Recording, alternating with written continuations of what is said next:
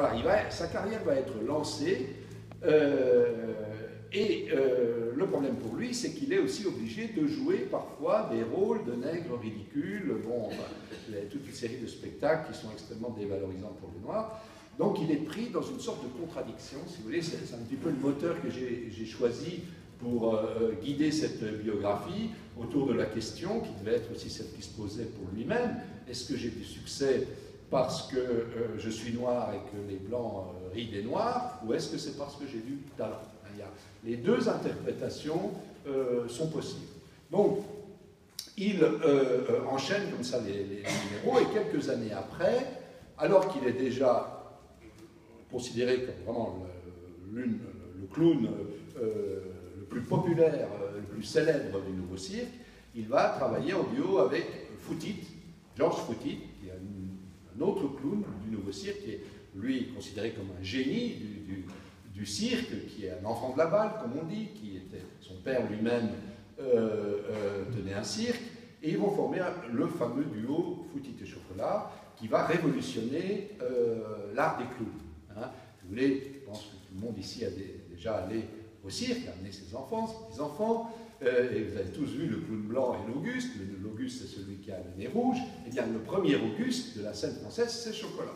Tout le monde l'a oublié, et c'est lui qui a inventé ce personnage de l'Auguste associé au euh, clown blanc. Donc, euh, euh, ils ont connu une popularité immense. Ceux qui ont vu le film ont vu, ont, vu, ces scènes. Ce qui, ce qui, est malheureux dans le film, j'ai tout le temps essayé de, que, ça se passe autrement, mais bon, on ne va pas, écouter, c'est que dans le film, on, présente les choses comme si c'était Foutit qui avait découvert Chocolat et formé Chocolat une sorte de point de vue, on pourrait dire, un peu encore colonialiste, hein. c'est encore le blanc qui explique au noir ce qu'il doit faire pour devenir un artiste. Alors que dans la réalité, c'est pas du tout comme ça que ça s'est passé. Hein. Dans la réalité, euh, quand ils se sont associés, les deux étaient à peu près au même niveau, au niveau de la, de la notoriété. Hein. Ils vont mettre leurs deux notoriétés ensemble et c'est ce qui va expliquer leur formidable succès.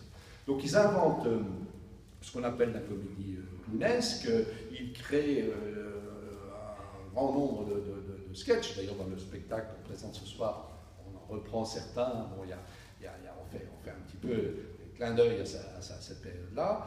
Et ce succès va les conduire à devenir, je dirais, des, des stars des nuits parisiennes à la belle époque. C'est parmi les, vedettes les plus connues de la belle époque. Et je dirais que le mot cirque est un peu restrictif, parce qu'en fait, ils se produisent aussi dans les music halls. Euh, dans l'exposition, on a une carte où on montre tous les lieux où ils ont, joué. Bon, ben, le Moulin Rouge, les Folies Bergères, l'Olympia, les théâtres, mais aussi les, salons, par exemple les salons à l'époque, les salons aristocratiques, ils ont joué chez les Rothschild.